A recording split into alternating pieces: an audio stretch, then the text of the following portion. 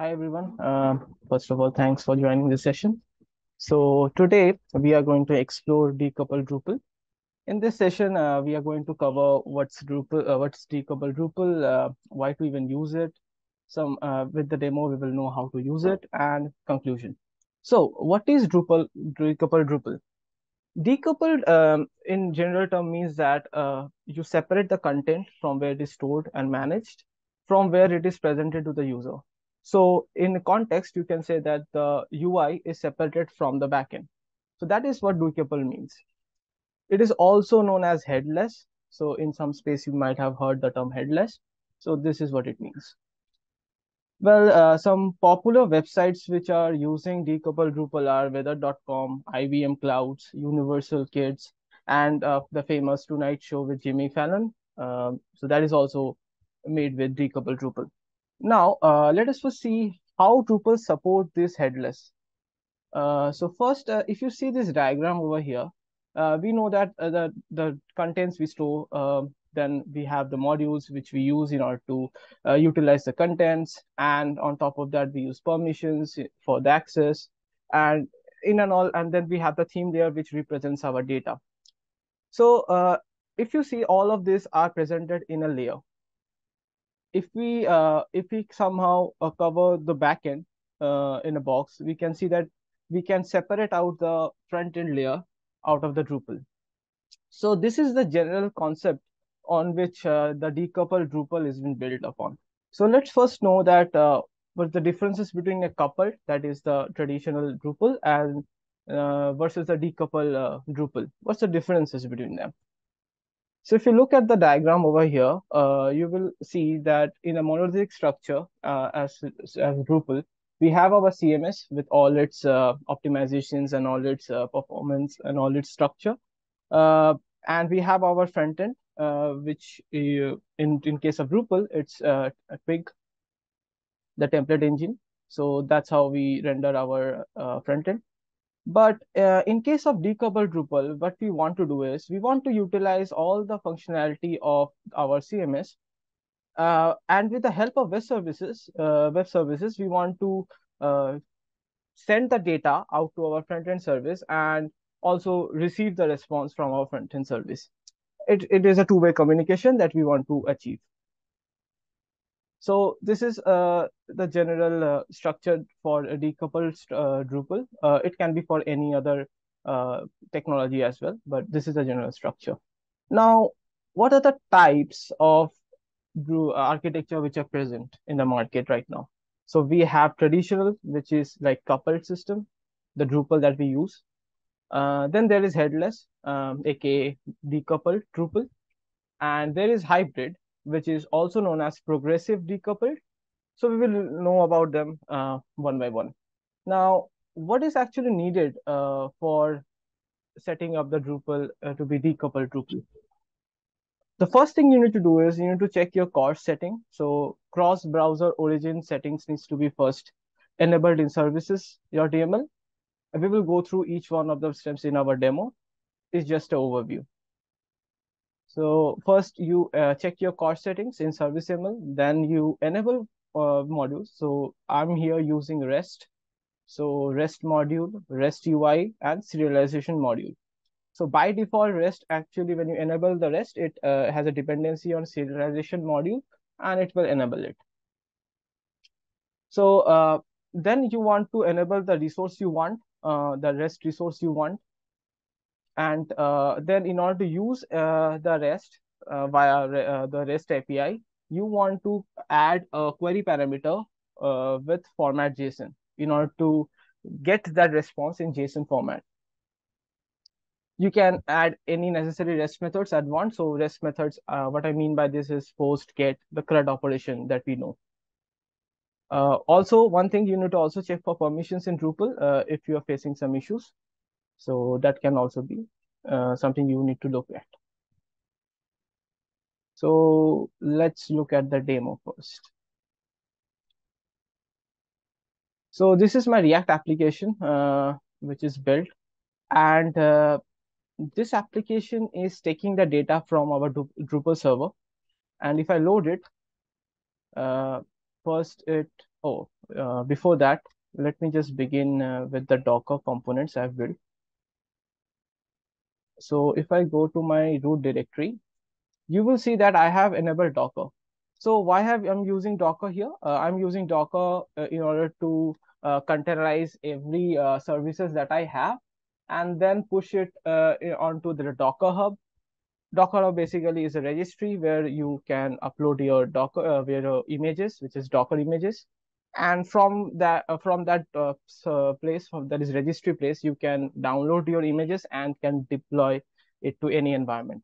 So with the you can even add kubernetes to it in order to orchestrate the containers but what i did uh, in this uh, demo is just uh, using docker compose i have added my images so if you look at it this is my drupal application and it is utilizing the official drupal image which we can find in uh, uh, the docker repository so if you go to let me show you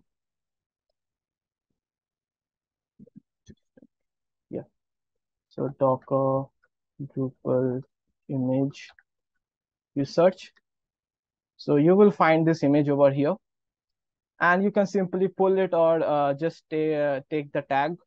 So there are tags which are present here. So any of the tags you want. So I have used the latest one, which is uh, the Drupal version 10.1.3, but you can use as per your requirement. Now, why I'm using Docker here? and why not other technology? So I'm using Docker so that I can orchestrate my containers as per my needs. So currently I'm running Drupal 10, but maybe my backend needs Drupal 9 or maybe in future Drupal 11. Uh, so I can easily swap out my image and uh, uh, add my changes and it will work on any environment and then deploy it to the uh, Docker hub from where we can download and use it in any environment uh, so this is my Docker, this is my Drupal image. Uh, then it also depends on MySQL service. So this is my MySQL, which I'm using. Uh, I'm using the official MySQL uh, image, which is also present in the Docker Hub. Uh, there are some environment variables which we need in order to uh, use this MySQL service. And rest, this is my front-end service, which I've created. Now the front-end service, uh, it's not coming from any sort of image. If you look, the image key is not present over here. It's actually utilizing uh, a build file, a Docker image file that I've created in my React app. So you can see the path, which is uh, React app. Uh, inside it, we have the Docker file. And I'm just using a, a, a plain node environment and utilizing Docker commands in order to start my front end.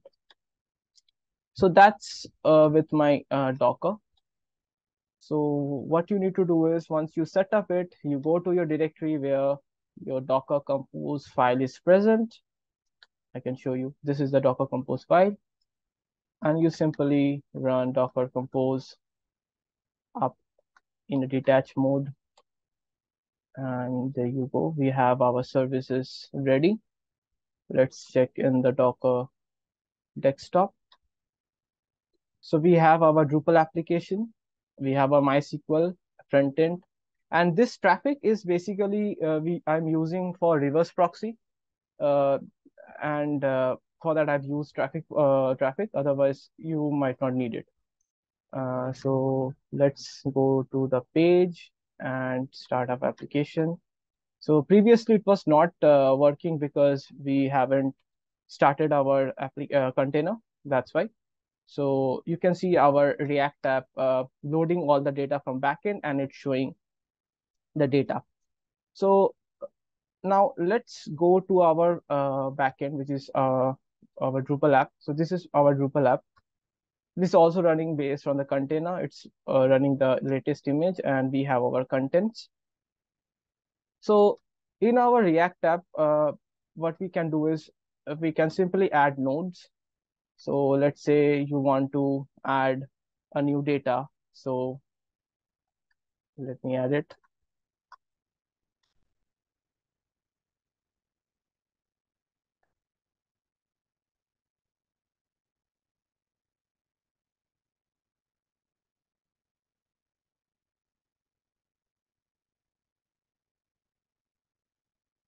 So we submit it and voila, we have our data in our React app. Well, that's cool, but what about our backend? Did it save it? See, we have our new entry of TechX here. So what we are doing over here is, uh, this is completely a different domain, completely different environment, and we are just uh, um, using uh, the native applications resources and uh, the facilities that it provides to uh, to communicate with the backend that we have. So it can be Drupal, it can be any application. And if you see, uh, not edit, let me just open the page. So whatever data we have uh, given, it actually takes it. Now, uh, what about uh, the other way? So let me just change it in my Drupal application, modified, and save the node. It is saved in my Drupal application that is loaded. And there you go. We have our data in our React app. So uh, other thing which you can do is now I can also delete my uh, entry. So it's deleted. And if you come over here and check it, see, it's not present. Even in content, it is gone. So you can basically communicate uh, with your React application and your Drupal uh, in both ways. So it's a, it's a kind of like handshaking method it's utilizing. So that's how we are communicating. Now, how we are doing this stuff. So let me go to the Drupal app. First, what you need to do is you need to make sure that you have your services.yaml enabled uh, and there you will see there is a CORS configuration which is present. First, you need to enable it and uh, you can uh, add any headers if you want. I have not specified any headers as now as of now because uh, uh, different methods like if you want to upload some file or other thing you might need to then uh, again go back to application and add that particular header for that uh, request so i've allowed all of them and allow methods which is like get post uh, delete all the request i am allowing everything as of now. You might want to uh, modify it as per your needs uh, for production. And uh, i am here one thing i'm doing is i'm allowing my origin which is my front end app. Uh, otherwise you can also use start to allow everything but for uh, security reasons i'm allowing only the front end app to access my site and there is this expose headers which uh, can also you can also use in order to expose some of the control headers if you want to know more about CORS settings and all you can uh, visit mdn and check the documentation there uh, so you can know about each of those uh, keys present over here so that's what you want to do first then what you need to do is you simply go to your Drupal application. You need to install one uh, one module. So before that, what you need to do is you need to enable the REST uh, web services. So this is present by default on core. Uh, so you just enable it and it will automatically enable, uh, enable your serialization module and then you can start working. But uh, in order to work with REST, if you want a UI to see what are the declared uh, REST services for everything in the code or custom module are present, you can use REST UI. So it won't be present by default. You need to install it by going to uh, uh, just uh, Composer install it and you will have it.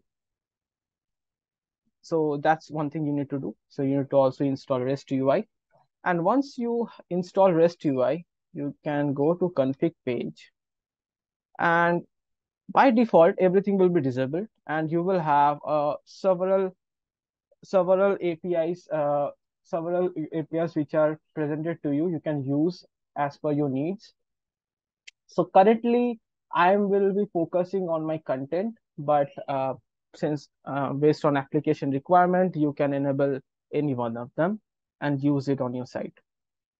So here I am using content and uh, what what does it do? Well, if you edit this page, I'm allowing these methods uh, and I'm accepting the request format in JSON and I'm authenticating with cookie.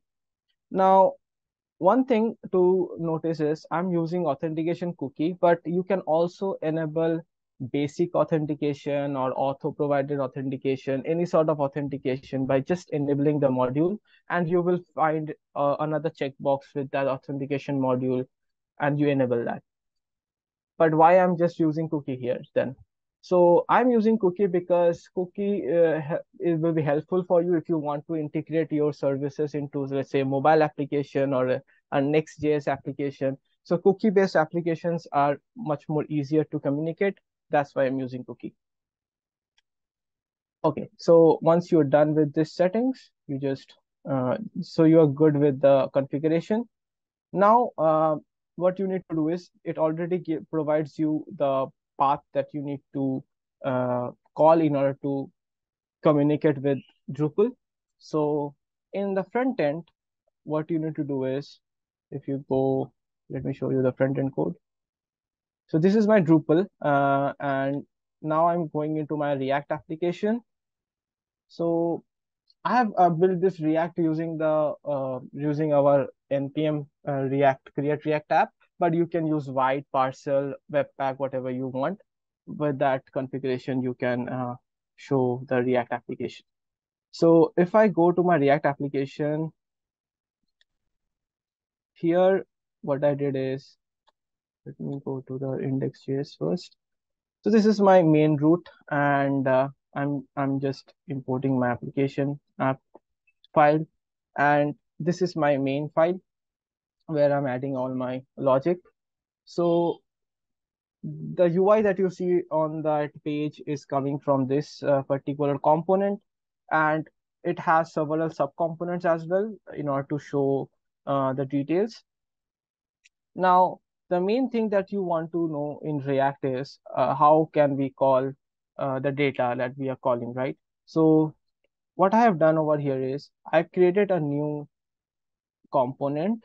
So if I show you the component, so this is my result.js, which is which result.js means this particular component which is showing my data over here.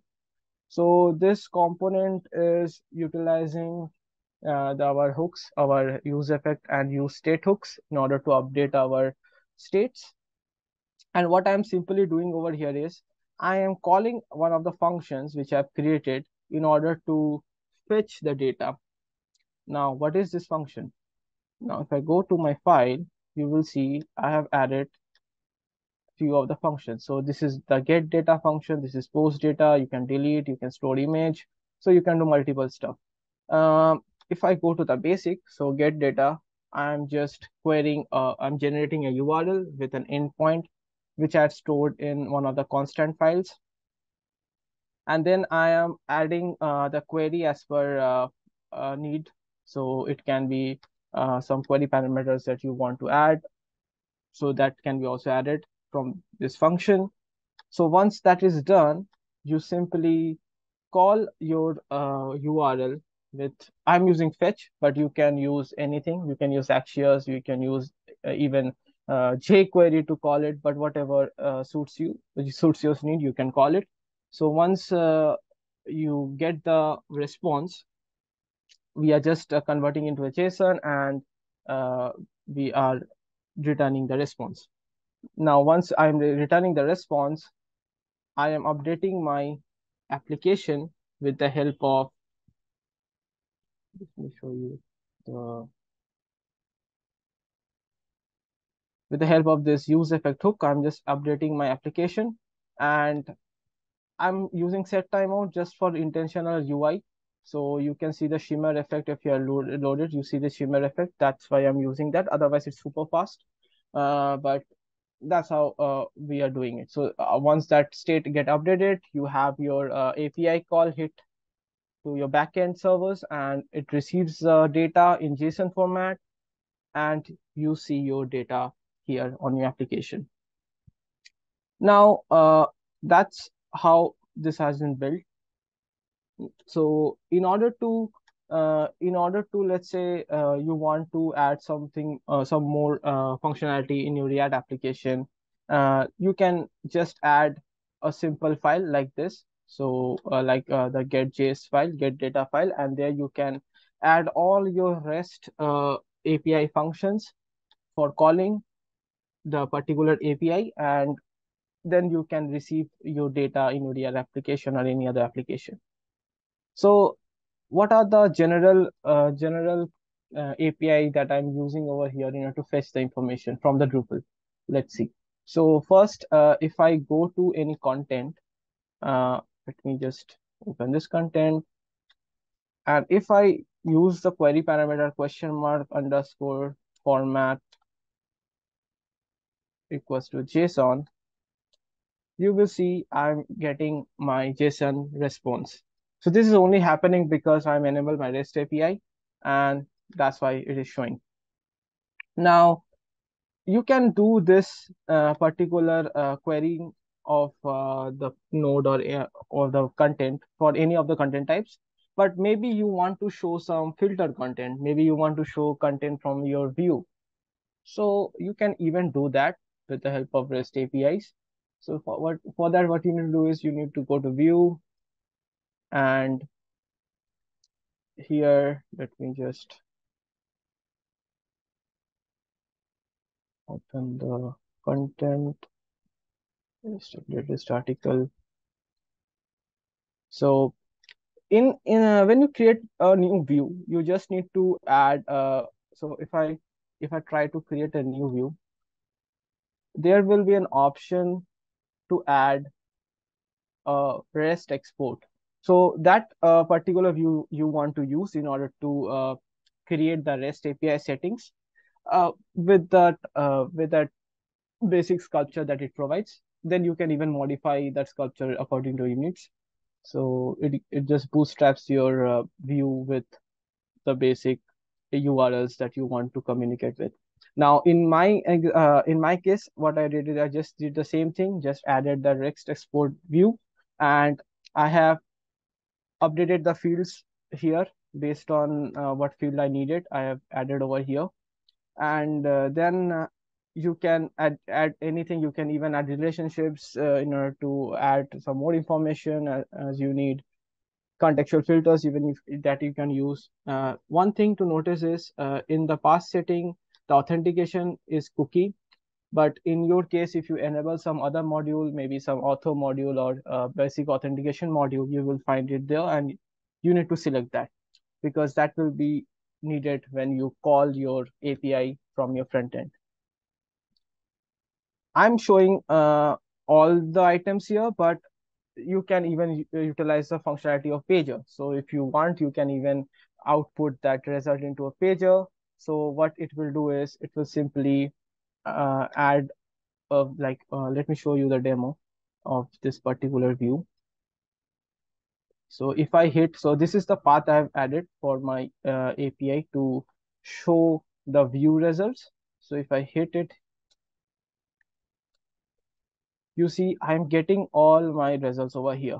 But when you, if you enable pager, then you just need to append question mark with page one, page two, um, and you will get your data. So you can utilize the React in order to uh, quickly call uh, the particular page and you can update the UI quickly with the help of UI. It, you don't even need to reload the page uh, or even use Ajax for the slow loading and stuff. So that can also be done. So I think we are good with this. So, so that's how uh, this has been created. And you can add as many functions as you want. Uh, you can add uh, any any form in order to communicate with your Drupal. And that's how uh, you can create an decoupled architecture. So that's what this image is representing. I'm using Docker in order to containerize my application. And once this is all done, I can simply uh, export my containers into the registry and then we can use it in any of the environments. Let's go to the next thing. Well, all the things that we've seen so far are good, right? But what are the disadvantages of uh, this decoupled architecture?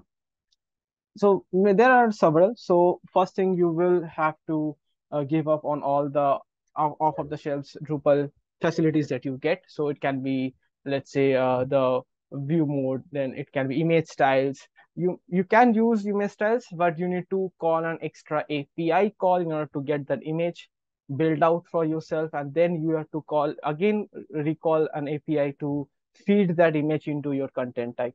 So that will take two and forth motion, though it's it's going to take a lot more network request, and hence it might not be that much performant. So that is one of the things which are disadvantages. And second thing, hosting. So if you want to handle a decoupled architecture, uh, since it's a microservice and not a monolith service, uh, you have to you have to maintain several repositories. Um, you can you can make single, but uh, it will it will be difficult to handle it. Uh, then you need to have some sort of container orchestration like Kubernetes or maybe uh, maybe Docker uh, in order to help you with uh, communicating with this tool. And uh, also it's very hard to maintain and debug because uh, sometimes uh, you might want to achieve something so uh, for example if you simply want uh, to have an image style on some of the images you have to call several network requests in order to get that image and then feed it to your content type so it, it's the communication and the code will get huge and it will be very difficult for you to debug as well so where do we need it?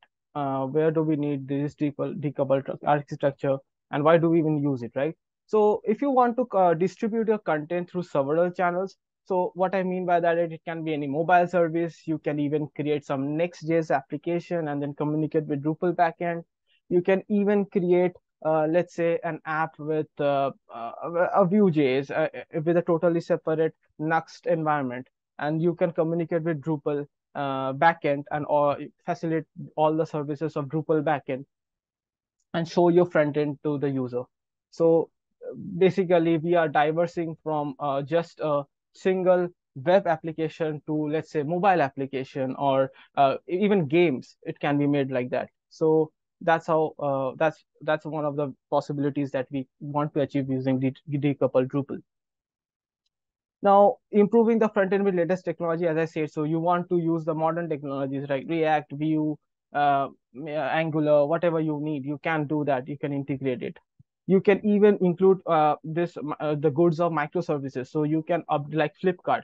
So you can uh, just have a config UI uh, where, where you want to maybe update your client banner based on the dates. So you can just do it using config UI uh, via React and your banner will be updated on that particular date without even communicating with the servers uh, without even touching the front end. So you don't you don't need to touch the front end. It will be updated on that particular date via config ui and that's it. So you can actually work uh, with a configuration that we've seen right? So we are configuring all our resources into json and then we are communicating with the front end. So you can do that as well.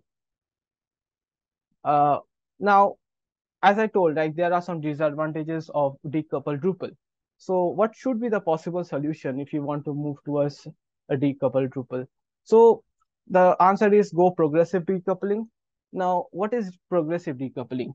Well, uh, let's say you have your Drupal application and you want some of the components to be uh, modernized. So maybe you want a widget, uh, let's say you want just your header to be React, or maybe your uh, uh, your rendering of the listing items to be React.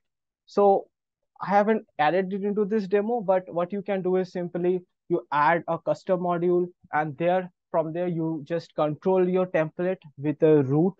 So like React application have a root, you can also create a root in your template file. And from that, you can call React view or whatever service you want, whatever, and you can just update that particular widget or particular section of your site to be uh, like uh, decoupled. So that's how progressive decoupling works. So step by step, you want to decouple your entire entire application. But if you don't even want some of the cool features that Drupal provides, you can just keep it as it is and move forward. So that's a new way of dealing with decoupling. So that's it for this session. And if you have any question, please ask and thank you all. Hi guys, thank you for watching. I had an amazing time learning all the new things here at Specbee's TechX.